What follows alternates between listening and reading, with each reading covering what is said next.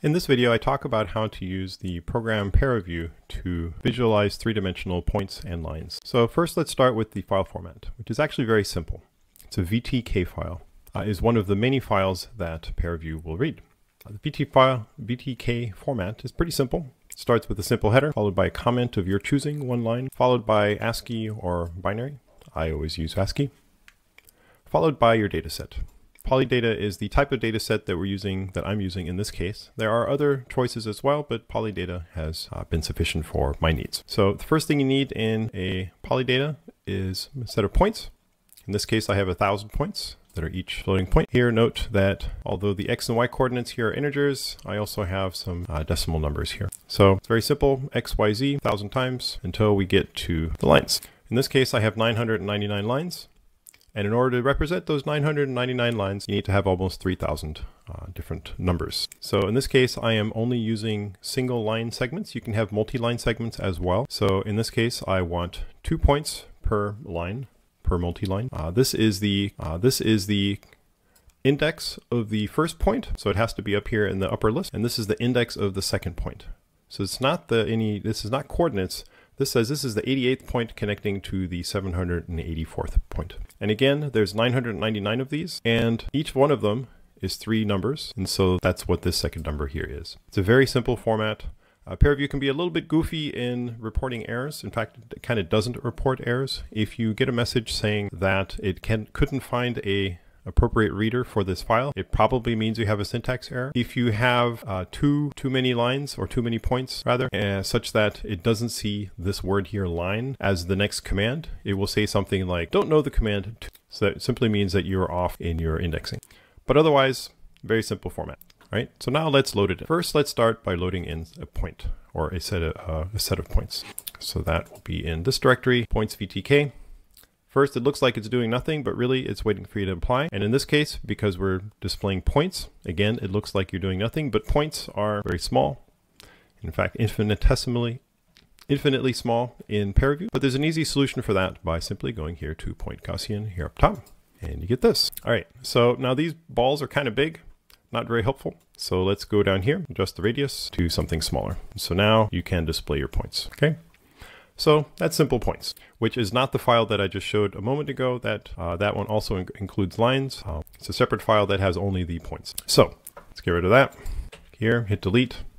So now open file again, go into my directory here scale series. Now in this case, I have a whole series of files that are numbered in sequential order and ParaView will say, hey, you've got a bunch of files here with the same uh, same prefix, but there's only a number difference in here. Would you like to load them all together? So let's do that.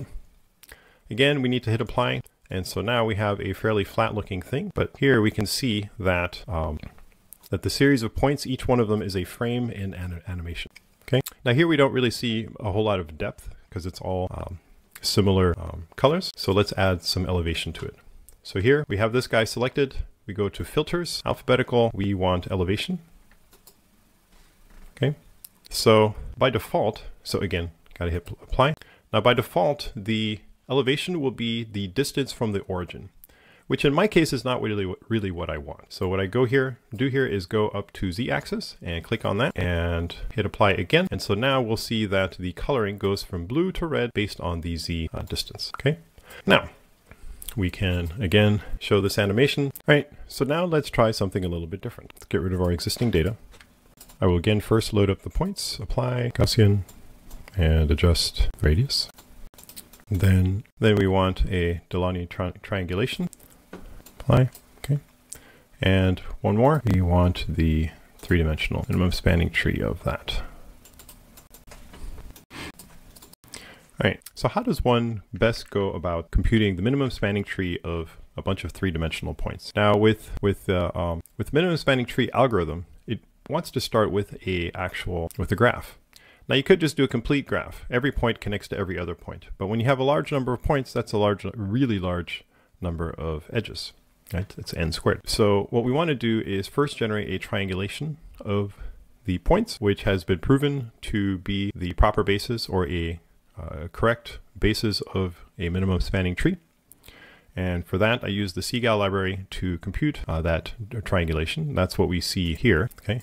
And then based on that graph, you can then use the Dijkstra or Prim, uh, the Kruskal or Prim algorithm to compute the minimum spanning tree. So one interesting exercise is to kind of have them morph from one to the other, and that's what I'll show here. So first we want to show a camera and do a plus so that we can then do this.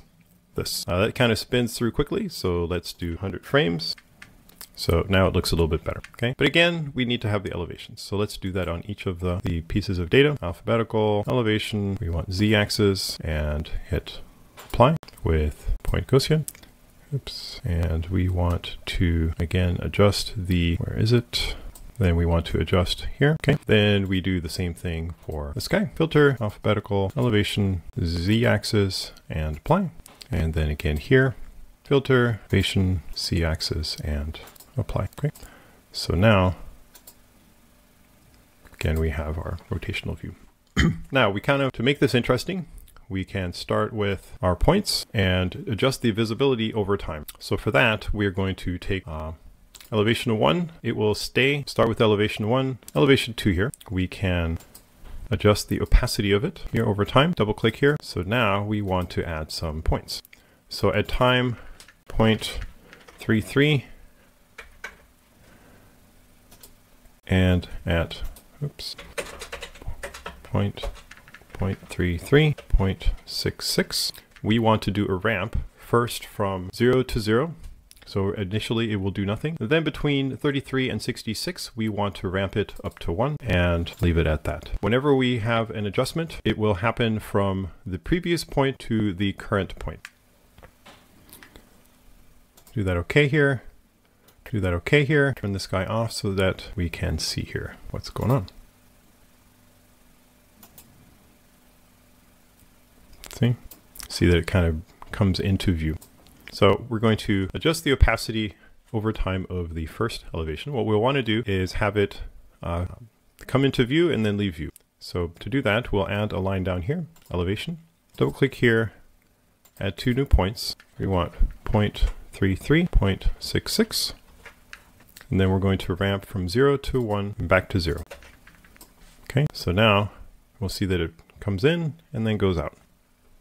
Okay. Now, as we're fading out, we're going to want the MST to fade in. So let's do that on this guy. So we want elevation 3, we want opacity there.